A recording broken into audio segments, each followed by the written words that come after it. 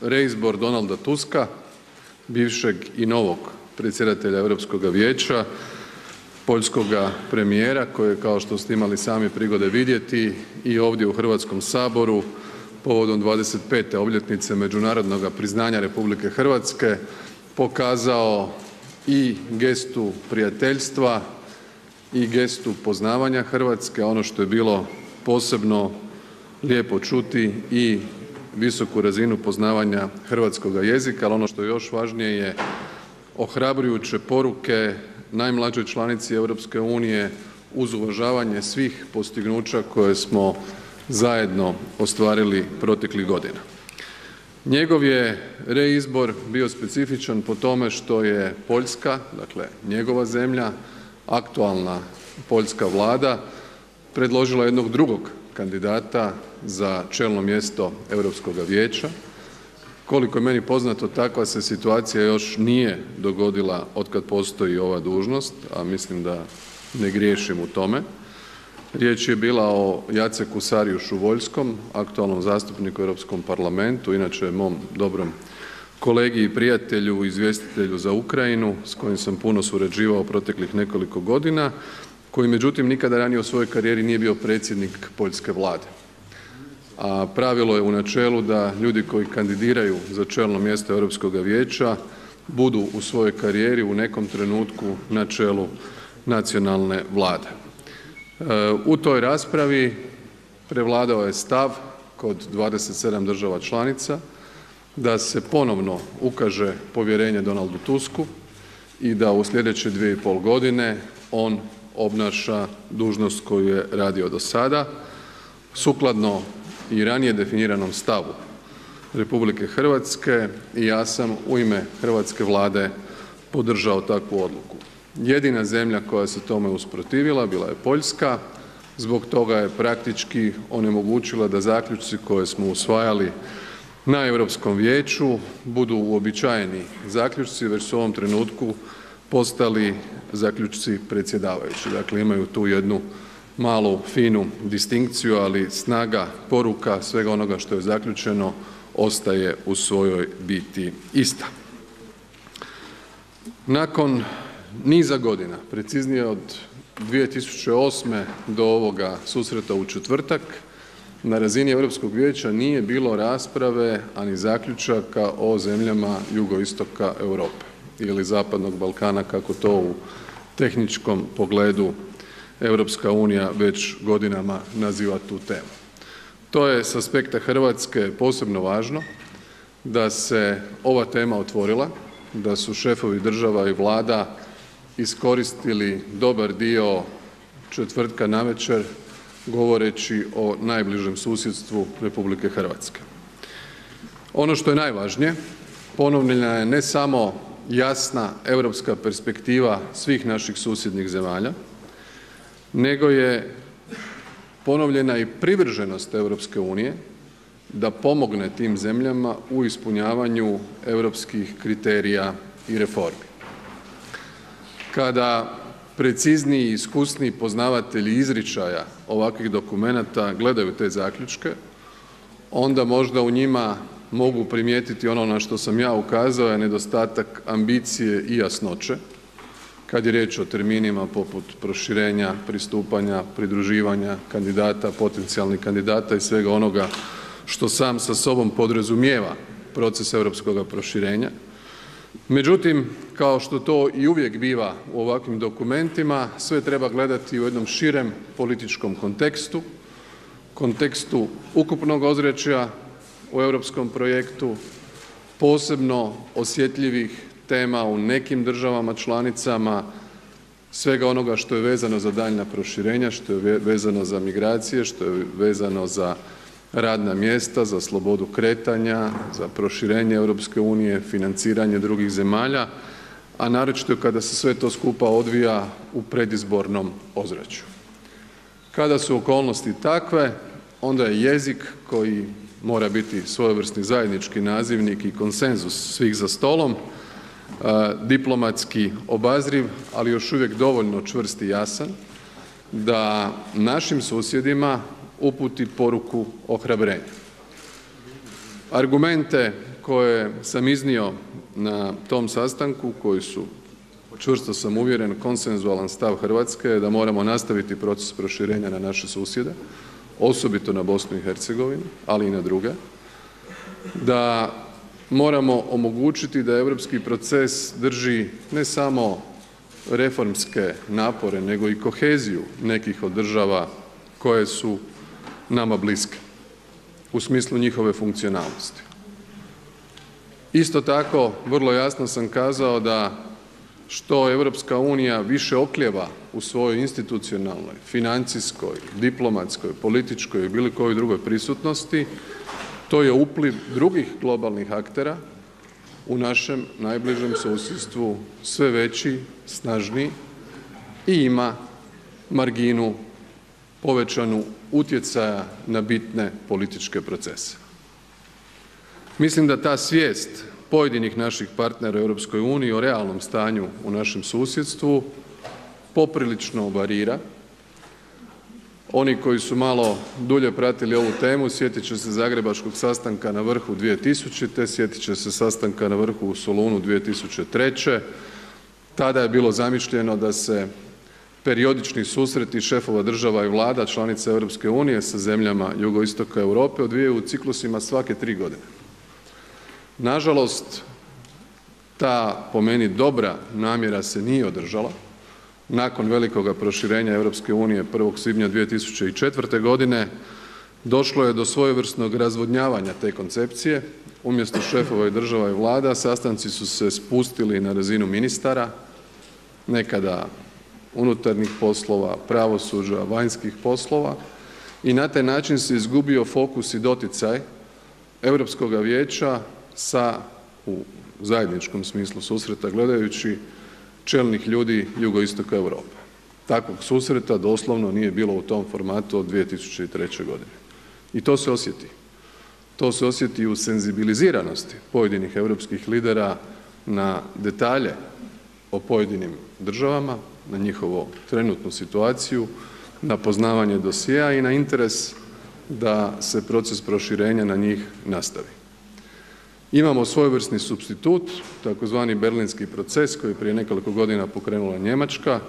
Jedan takav susret bit će ove godine u Trstu, domaćin će biti Italija, međutim njegova je možda i prednost što su tu velike i države koje su zainteresirane, ali nisu sve i to je mana i to se u raspravama izrazito vidi i osjeti i to nije dobro.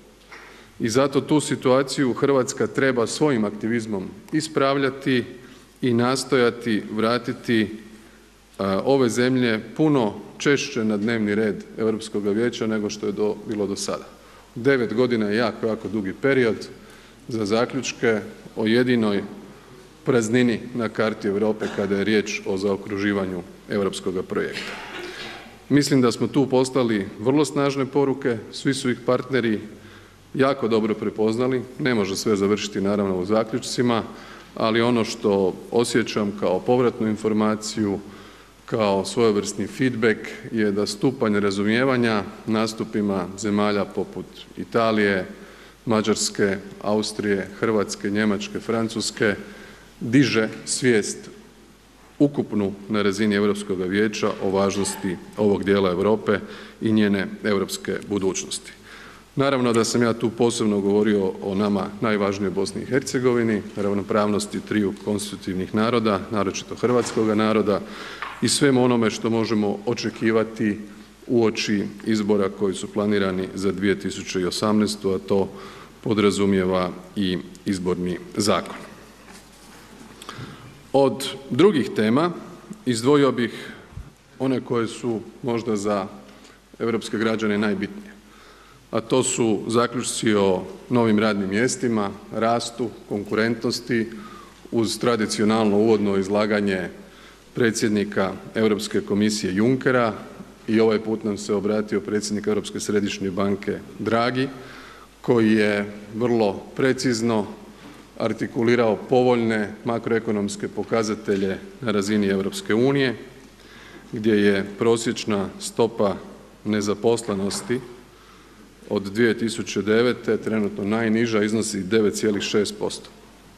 Dakle, to je dobar i pozitivan signal.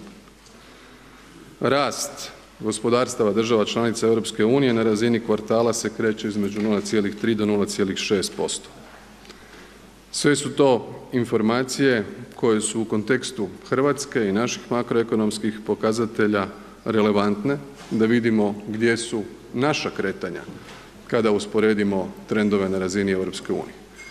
I s te strane želim reći da su evo sve ove tri agencije za kreditni rejting u proteklih nekoliko mjeseci naše izglede iz negativnih pretvorile u stabilne, jedan pozitivan signal. Naravno da je to ponajprije zahvaljujući našem gospodarstvu, njihovom aktivizmu, proizvodnji, izvozu, konkurentnosti. Međutim, isto tako je riječ o porukama koje oni koji nas gledaju sa puno više hladnoće i nepristranosti, prepoznavanje one temeljne poruke koju mislim da odražava i ovaj saziv Hrvatskog sabora, a to je želja za političkom stabilnošću koja onda stvara temeljite preduvjete za gospodarski rast i razvoj, za jačanje okvira pravne sigurnosti, predvidljivosti i za provedbu načela i društvene pravednosti i solidarnosti. Stoga pokazatelji o rastu BDP-a u 2016. godini, projekcije za 2017. godinu, smanjivanje javnoga duga na 83,9% udjela u BDP-u kao i smanjivanje proračunskog deficita ohrabruje. I kada sam to prenio našim kolegama i našim partnerima onda u jednoj komparativnoj analizi vidite da su trendovi koje trenutno Hrvatska uživa takvi da moramo učiniti svi zajedno napore da se oni nastave i da kombinacijom nacionalnih mjera i europskih sredstava kreiramo veću zaposlenost. Upravo na tom tragu su izlaganja i drugih kolega. Svi imaju slične probleme i svi traže po mogućnosti kvalitetna i korisna rješenja.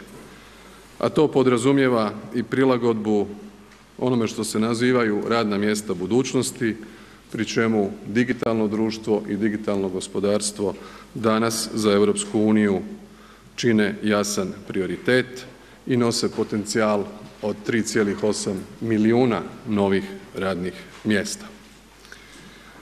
Također želim kazati da se na ovom Europskom vijeću razgovaralo i o pitanjima sigurnosti i obrane. Vi znate da je prošle godine u lipnju EU usvojila globalnu strategiju vanjske i sigurnosne politike, ona je nažalost bila na dnevnom redu točno jedan dan nakon negativnog referenduma u Kraljevini i naravno da je ostala u sjeni tog krupnog velikog političkog događaja.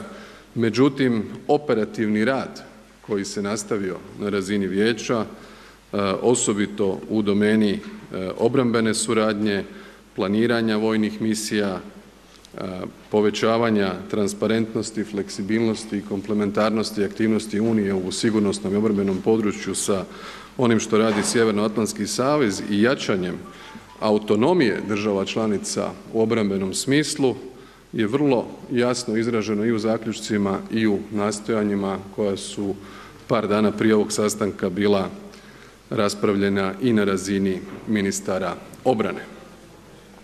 Ono što je također važno je da je Hrvatska u tom kontekstu zemlja koja je prepoznala da u novim globalnim okolnostima moramo raditi iskorak i glede proračuna za obranu. Prema tome, pomak koji smo napravili svi zajedno ovdje usvojivši državni proračun je vidljiv i od strane naših partnera u EU i to je nešto o čemu moramo voditi računa u budućnosti. Cilj od 2% je naravno svojevrsni zadatak na malo duljem roku, ali ukoliko budemo ustrajno radili na povećanju naših sposobnosti, većoj učinkovitosti, komplementarnosti naših obrambenih sposobnosti onda i ova sredstva koja imamo, koja jesu manja od 2% i to dosta, mogu biti korisna u našem doprinosu jačanju ukupnih sigurnosnih i obrambenih sposobnosti EU. Tema koja je također dotaknuta bio je svojevrsni nastavak rasprave sa tog neformalnog sastanka na Malti, a to je bila tema migracija. U ovom trenutku zbog praktički u najvećoj mjeri gotovo zatvorene istočno-mediteranske i balkanske rute. Temeljni fokus članica unije se svodi na situaciju na srednje mediteranskoj migracijskoj ruti. I tu su naravno najzainteresiranije zemlje poput Italije, Malte nastojale u prvi plan staviti širi kontekst suradnje sa zemljama Afrike, a posebno Libije koja je jasno prepoznata kao ključna zemlja prigodom naravno nelegalnih prelazaka i krijumčarenja ljudi sa sjevera Afrike na obale uglavnom Italije ili Malte. S te strane ponovno je naglašena važnost provedbe svih dogovora sa Turskom jer je njena uloga bez ikakvih dilema kapitalna u ocjenjivanju mogućeg daljnjeg priljeva migranata ili izbjeglica sa prostora Male Azije, a ovo što se nakon Europskoga vijeća dogodilo u kontekstu Nizozemske i Njemačke ne pridonosi stabilnosti tog dijaloga niti povjerenju, a u sebi nosi određene rizike. Stoga mislim da je uz veliku privrženost jačanju demokracije, standarda ljudskih prava, funkcioniranja pravne države, medijskih sloboda u Turskoj isto tako bitno da vodimo računa i o financijskoj potpori koju dajemo Turskoj glede izbjeglica i migranata, o kontekstu pristupnih pregovora i o kontekstu vizne politike. Sve te teme su međusobno povezane. Kada je riječ o neformalnom sastanku na Malti želim reći da smo iskoristili tu prigodu za raspravu o transatlantskim odnosima, o novim okolnostima, dakle o novoj američkoj administraciji i izboru predsjednika Trumpa, o odnosima sa drugim globalnim akterima poput Rusije gdje je jasno prepoznato da svojevrsni otklon od klasične privrženosti multilateralizmu koje smo u prvim izjavama američke administracije mogli vidjeti. Unija nastoji kroz dijalog bilo na razini europskih institucija, bilo bilateralni dijalog šefova država i vlada sa vodstvom Amerike svesti u one uobičajene okvire povjerenja i suradnje jer je ona ključna za globalno upravljanje i za rješavanje brojnih sigurnosnih, političkih izazova s kojima smo suočeni u suvremenom svijetu kakav je danas. S te strane na Malti je održana i prethodna rasprava o pripremama za sastanak na vrhu u Rimu, dakle u Rimu će se 25. ožujka održati svečani sastanak i potpisati jedan dokument povodom 60. obljetnice potpisivanja Rimskih ugovora koji je prigoda da u ovim posebnim okolnostima, a to su okolnosti prije svega uzrokovane negativnim referendumom u Ujedinjenoj Kraljevini, unija, sve države članice, a tu se misli na 27 članica pronađe nove temelje suradnje čvrsto vjerujući u postignuća u proteklih 60 godina, duboko svjesna onoga što su izazovi koji su pred nama i s namjerom da u razdoblju koje jest pred nama pogledamo kakvu uniju, kakav europski projekt želimo. Oko toga čini mi se da se stvara jedan konsenzus, ali uz jedan vrlo izražen osjećaj realnosti. U raspravama nema nikakvih iluzija da je današnji europski projekt prije svega opterećen krizom, da se bez presedana u sljedećim godinama očekuju vrlo neobični, do sada nedoživljeni pregovori o izlasku jedne velike članice, ozbiljnog kontributora u europski proračun, članice koja ima najjače obrambene sposobnosti, čija univerzalna globalna prisutnost u smislu diplomatske mreže smanjuje i vanjsko-politički utjecaj unije i proces koji će imati financijske reperkusije prije svega za Ujedinjenu Kraljevinu, a da u takvom kontekstu pokušamo dati novi impuls snazi europskoga projekta. I s te strane stav koji sam izložio u ime Hrvatske i na Malti i u petak u Bruxellesu se svodio na tri temeljne točke. Ono što svi očito prepoznajemo u ovom trenutku je da moramo ojačati demokratski legitimitet institucija unije, bilo neposrednim, bilo posrednim putem. Ovakvu raspravu kakvu imamo mi danas, a imamo je namjerno danas kada o tome raspravlja i Europski parlament, vodit će i druge države članice uoči sastanka na vrhu u Rimu. Upravo da bi nacionalni parlamenti bili dionici ove rasprave i davali smjernice vladama kako da se postave u ovim okolnostima. S te strane rastući populizam koji je doslovno horizontalno pitanje danas na razini unije identificiran kao jedan od glavnih uzroka krize povjerenja u europski projekt. I to nije stvar samo komunikacije, to nije samo stvar boljeg tumačenja europskih politika, to je prije svega identificiranje s europskim vrijednostima. I tu dolazim do druge točke, a to je da svi imamo zajedničku obvezu učiniti i zajedničke politike i redistributivnu snagu europskoga proračuna, to je otprilike 150 milijardi EUR-a godišnje, puno vidljivijom običnim građanima, bili oni u Vukovaru, bili oni u Kelnu, bili oni u Napulju.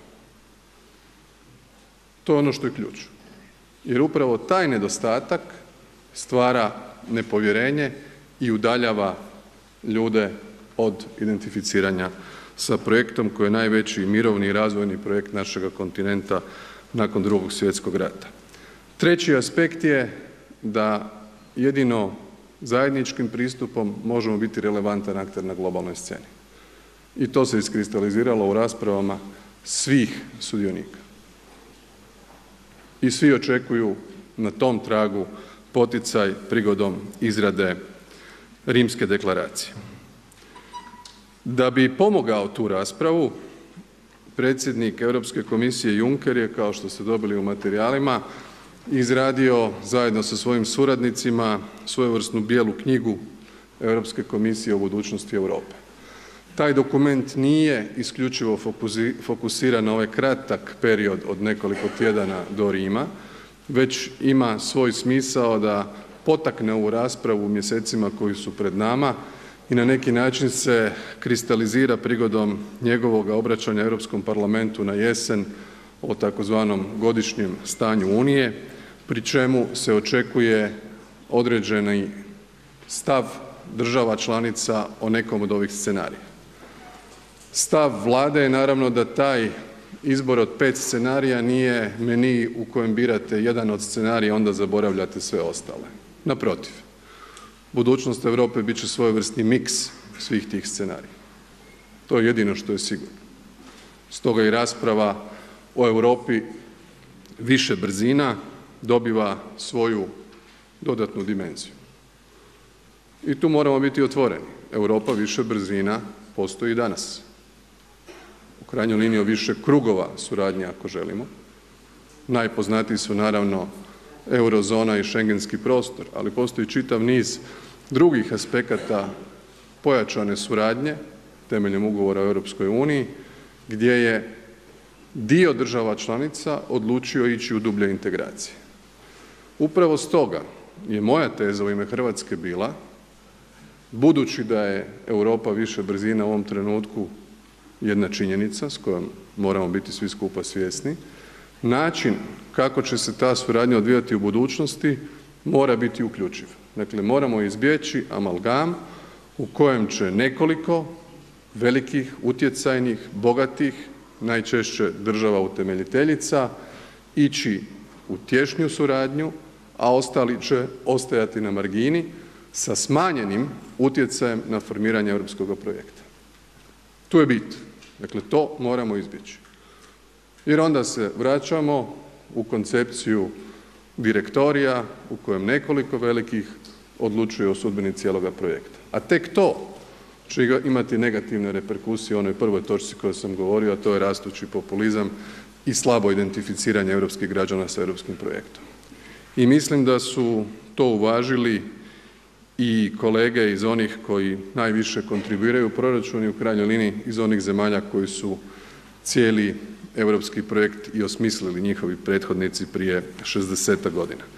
To je po meni za Hrvatsku jedna od najbitnijih e, činjenica da se zbog toga da smo sada tek u fazi evaluacije za ulazak u Schengenski prostor, da jesmo formalno pristali potpisivanjem ugovora o pristupanju postati dio Eurozone, ali imamo jako puno kriterija za ispuniti na kojima radimo, da ne bi via fakti ostali u svojevrsnom prstenu koji nije u žiži onih koji odlučuju.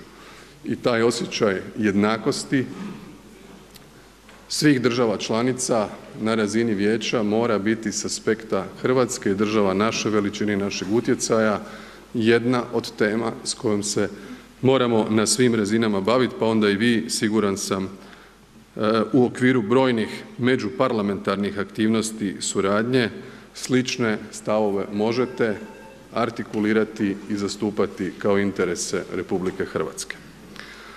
Ono što je e, pred nama u ovoj godini je da e, ne samo podržimo namjeru Italije, jer Italija trenutno organizira brojne rasprave na ovu temu povodom 60. obljetnice Rimskih ugovora, nego da kroz sva institucionalna tijela, bilo međuvladine suradnje, bilo međuparlamentarne suradnje, promičemo temeljne stavove RH koji su snažan, jasan, zreo doprinos sada nakon evo praktički smo u četvrtoj godini članstva duboko, gdje se od nas očekuje da kažemo puno o onome o čemu znamo više od drugih, a to se u temama kao što je jugoistok Europe itekako vidi i itekako se osluškuje kakav je stav Hrvatske i zemalja poput nas o temama o kojima smo puno bolje upoznati.